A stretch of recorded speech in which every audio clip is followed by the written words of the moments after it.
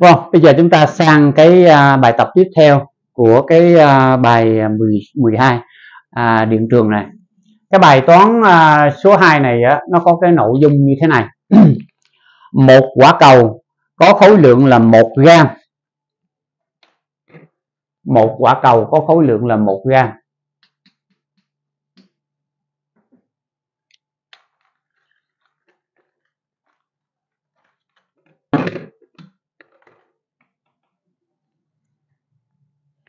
Mang cái điện tích Q là bằng 10 điện thừa trừ 6 cu lông 10 điện thừa trừ 6 cu lông được treo bằng một sợi dây không co giãn à, vào một điểm cố định à, vào một điểm cố định cái hình vẽ này. À, quả cầu đặt trong điện trường đều có cái à, có cái cường độ điện trường có cái độ lớn là 10 mũ 4 V trên mét. 10 mũ 4 V trên mét. À hướng xuống dưới và hợp có phương thẳng đứng một góc beta bằng 60 độ. Cái cường độ điện trường à, cái cường độ điện trường nó theo cái phương này. Đây là cái hướng của điện trường. Tức là nó hướng xuống dưới nhưng mà nó hợp với lại cái phương thẳng đứng này nè. Một cái góc beta là bằng 60 độ. Cho G là bằng 10 mét trên giây bình phương. Đấy. người ta yêu cầu mình là khi quả cầu cân bằng khi quả cầu cân bằng khi quả cầu cân bằng. Thì à, tính góc hợp bởi dây treo và phương thẳng đứng tức là tính cái góc alpha đó nó bằng bao nhiêu? Câu B là tính cái sức căng T tính cái sức căng T của cái sợi dây treo là bao nhiêu? Chỉ có vậy thôi. Thì nhắc lại nè người ta treo một cái quả cầu có khối lượng là m là bằng 1 gram. Có quả cầu này nó mang cái điện tích là 10 điện thừa trừ 6 coulomb như vậy là cái điện tích này là cái điện tích dương nha. Mà cái quả cầu này á, nó đặt ở trong một cái không gian mà có điện trường. Điện trường ở đây á là nó hợp với cái phương thẳng đứng. Nó đi xuống và nó hợp với cái phương thẳng đứng á, một góc là beta là bằng 60 độ. Đây là cái phương của cái cái cái phương của của điện trường. À bây giờ người ta hỏi mình á khi cái quả cầu nó đứng, đã đứng yên rồi đó thì cái góc alpha giữa cái dây treo này này và phương thẳng đứng là bao nhiêu? Sau đó người ta hỏi tiếp là cái sức căng T của sợi dây lúc đó là bao bao nhiêu? Bây giờ thầy sẽ à, à, tách cái hình này ra thầy vẽ riêng ra để cho nó nó nó các em thấy cho nó rõ ràng một tí nha.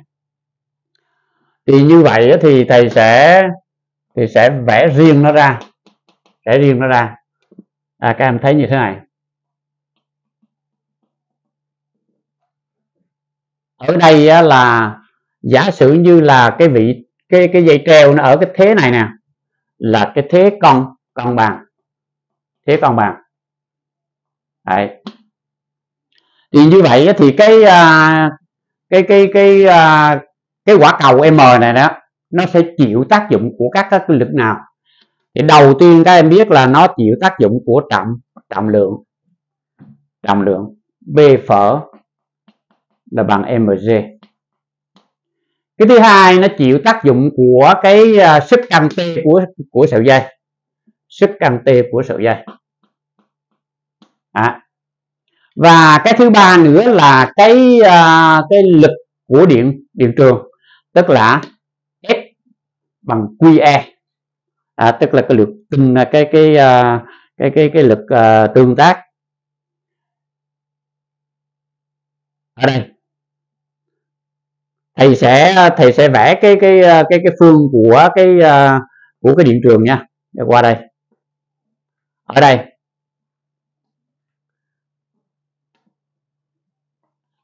Ở đây là cái phương của điện trường này. Đấy. thì nó hợp với cái phương thẳng đứng một góc 60 độ. Có nghĩa là cái góc này 60 độ nè. Đấy. và dĩ nhiên cái góc này nó cũng là 60 độ. Đấy.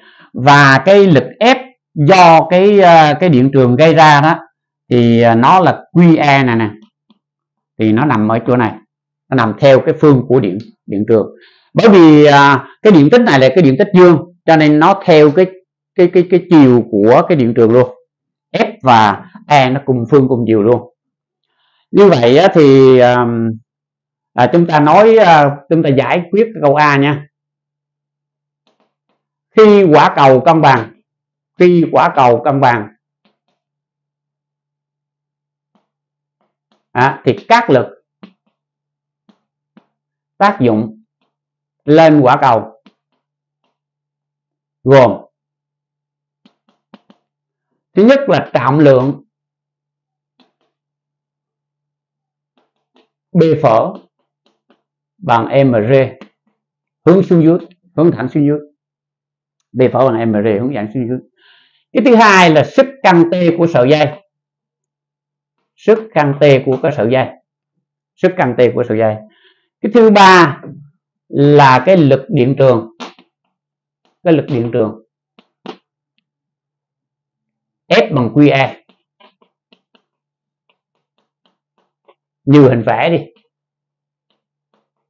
Đấy. Và khi cái có cầu nó nó công bằng á, thì là chúng ta có là B cộng với T cộng với F bằng zero đúng không? Đây là theo định luật một Newton mà các em học ở dưới lớp 10 rồi. À, khi mà cái cái quả cầu nó nằm cân bằng á thì cái cái quả cầu này nó chịu tác dụng của một cái hệ lực cân bằng. Tức là tất cả các cái lực mà tác dụng vào quả cầu này nó à, có có tổng bằng gì? Zero. Rồi. Tới đây thì à, à, chúng ta đặt cho cái cái cái cái cái biểu thức này là biểu thức một đi. Rồi bây giờ các em chiếu cái đẳng thức một này các em áp cái cái cái uh, cái hình vẽ này vào trong cái uh, cái hệ trục OXY vuông góc cho thầy. Thì uh, cái quả cầu á là nó đóng vai trò là cái góc tọa độ O luôn. Có quả cầu này nó cái đóng vai trò là cái góc tọa độ O luôn. Cái phương nằm ngang á, là cái phương của trục hoành. Và cái phương của trục tung á phương của trục tung bây giờ là các em à, cho nó là OI nó quay xuống đi. OI nó quay xuống đi. Đấy OI nó quay xuống. Đấy. Thì như vậy thì tới đây các em ghi là chiếu cái hệ thức một này nè. Lên phương OX lên phương OX như cái hình vẽ này nha. Thì các em sẽ có gì? Nếu mà chiếu lên cái phương OX á thì cái lực T này nó sẽ bằng 0 cái lực B này bằng 0 và T này nè và khi mà các em chiếu xuống cái trục OX á cái góc này là cái góc alpha nhá à, cái góc này là cái góc alpha còn góc này là 60 độ rồi. Thì nếu như mà các em chiếu cái sức căng T này mà lên cái phương OX á thì nó sẽ có giá trị âm. Thì cái đoạn này nè nó sẽ là gì? Nó sẽ là trừ T nhân với lại sin alpha cái góc này alpha thì cái góc này nó cũng là alpha. Độ dài mỗi cạnh góc vuông bằng tích số cạnh huyền với sin góc đối t sin alpha. Trừ t sin alpha. À, cộng với là f. F thì là cái này. F cái này mà các em chiếu lên cái trục hoành á thì nó là cái đoạn này. Nó là cái đoạn này. Như vậy thì cái đoạn này là độ dài mỗi cạnh góc vuông bằng tích số cạnh huyền nhân với lại là cái cái góc này thì nó đi với cái góc này à, hai cái góc so lại trong. Như vậy thì nó cũng đi với sin luôn. Như vậy thì QE F này nó bằng QE thì nó là sẽ là bằng QE sin của 60 độ luôn. À, và bằng 0 ở đây thì nói lại nè. Khi mà các em chiếu cái hệ thức một này nè mà lên cái phương của OX góc là O cái chiều dương hướng như thế này thì các em thấy rõ ràng là cái trọng lượng P này nó triệt tiêu. Cái uh, vector uh, T này đó thì khi chiếu xuống trục hoành á nó sẽ là ở về phía bên âm cho nên đây nó có dấu trừ. Độ dài mỗi cạnh có vuông bằng tích số cạnh huyền với lại sin góc đối T sin alpha. Còn cái uh, cái lực cái lực điện F bằng QE này á khi cái khi các em chiếu lên cái trục hoành á thì nó sẽ mang cái giá trị dương thì độ dài mỗi cạnh góc vuông bằng tích số cạnh huyền nhân với lại sin góc đối. Đấy, các em ghi là một. Và từ đây các em cũng đổi ra luôn đi. Đổi đổi ra luôn đi. T sin alpha. T sin alpha. À, sẽ bằng QE nhân với lại sin 60 độ. Sin 60 độ là bằng cos 30 độ là bằng căn 3 trên 2 bằng căn 3 trên 2 à các em cứ để như vậy đi. Rồi bây giờ các em lại chiếu tiếp. Các em lại chiếu tiếp. Cái đẳng thức một đó lên cái phương của OI à, ở đây các em lưu ý một điều là OI có cái chiều dương là hướng xuống dưới nha. OI có chiều dương hướng xuống. Như vậy thì P nó hoàn toàn dương. B nó hoàn toàn dương. Tức là M MG nó hoàn toàn dương. B bằng MG nó hoàn toàn dương. Rồi khi mà chiếu lên cái trục này đó thì các em thấy rằng cái lực à, là à, T này nè thì nó sẽ là cái cái cái cái cái đoạn này. T cái đoạn này thì như vậy thì ta có gì? T cái đoạn này thì nó sẽ là âm. Âm và nó sẽ có cái giá trị là độ dài mối vuông là bằng tích số cạnh huyền nhân với lại cosine góc kề tức là T cos alpha T cos alpha cái đoạn này nè cái đoạn này nó là ngược chiều dương. Chiều dương nó hướng xuống dưới cái góc tọa độ tại O thì cái đoạn này nó âm. À, cho nên nó mang dấu trừ. Độ dài mẫu cạnh góc vuông là bằng tích số cạnh huyền nhân với cos nhìn góc kề. Rồi rồi à, cộng với f. F thì nó dương. F thì nó dương. F là cái đoạn này. F bằng QE thì nó là cái đoạn này.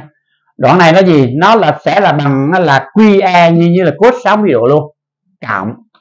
QE nhân với là cos 60 độ luôn. Đấy, độ dài mẫu cạnh góc vuông bằng tích số cạnh huyền nhân với cos góc kề à bằng 0 từ đây các em có được gì?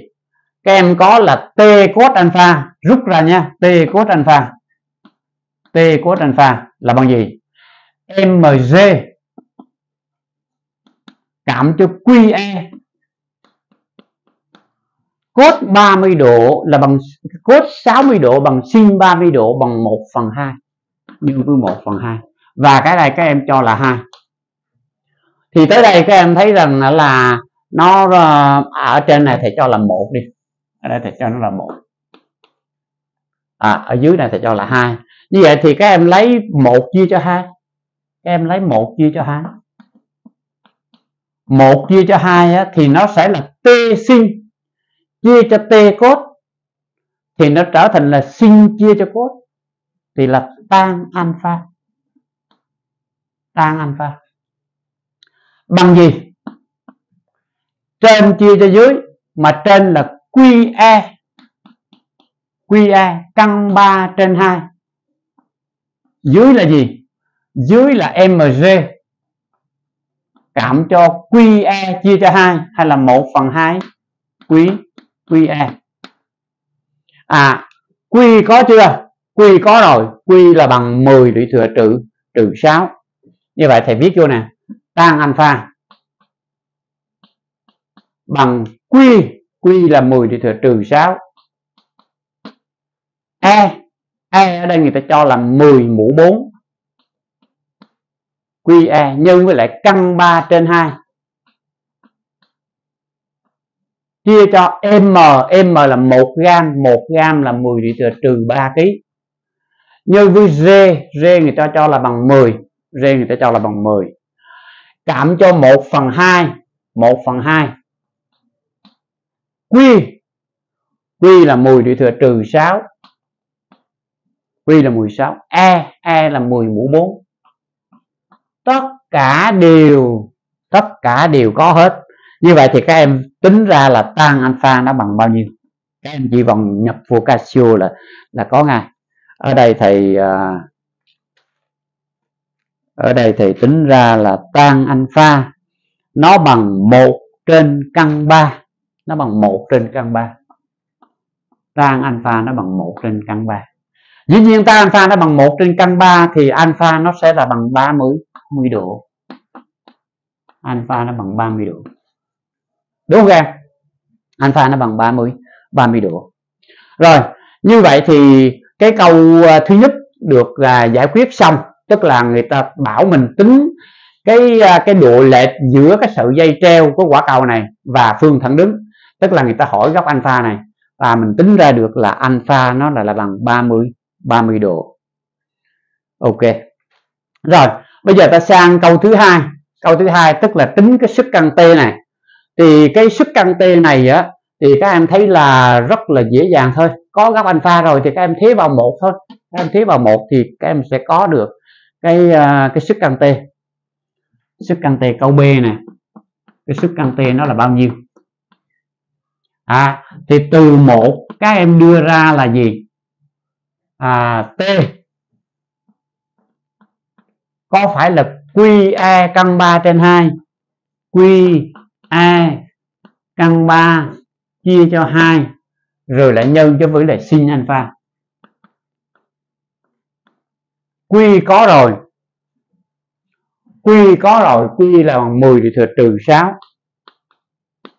E có rồi 10 mũ 4 nhân với lại căn 3 chia cho hai lần, alpha là 30 độ thì sin alpha nó bằng 1 phần 2 các em đơn giản cái này luôn đi như vậy thì có phải là 10 đi thừa trừ 2 nhân với căn 3 10 đi thừa trừ 2 nhân với căn 3 hay là căn 3 chia cho 100 căn 3 chia cho 100 nếu Newton hay là nói một cách cho nó dễ dàng là à, căn 3 nhân cho 10 đi thừa trừ trừ 2 căn 3 này nhân cho 10 đi thừa trừ trừ 2 nếu Newton thì các em ghi cách sao cũng được. Cái dạng là căn 3 trên 100 cũng được mà căn 3 nhân cho 10 thì trừ 2 à, Newton cũng được. Như vậy thì cái bài toán thứ hai này à, nó có hai câu hỏi à, thầy vừa à, trình bày xong cái, à, cái, cái cái cái cái lời giải cho hai cái câu câu A và câu B này. À, các em nên nhớ một điều như thế này cho thầy. Ở đây á, cái cái à, cái quả cầu này nó đặt ở trong một cái vùng không gian có điện trường. Nhưng mà điện trường này nó không phải nó nằm ngang mà nó không phải thẳng đứng mà nó lại nằm xiên nó nằm xiên như thế này nè nó hướng xuống nhưng mà nó lại lệch một cái góc 60 độ so với phương thẳng đứng.